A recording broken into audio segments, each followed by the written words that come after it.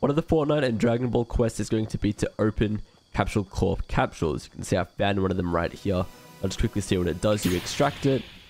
Oh, okay, so you can extract it and then it will give you these items. You can see there's a Kamehameha there and a Nimbus Cloud as well. So that's another way you can get both of those mythics. And how you get that capsule itself is going to be every so often during the game they will fall down onto the map. There's none right now because everyone's collected them. But i think it's every single time the storm closes they'll fall on the map and you will see on the map the icon. So you'll see the little orange capsule corp icon. You go over to it you'll find what i just found there.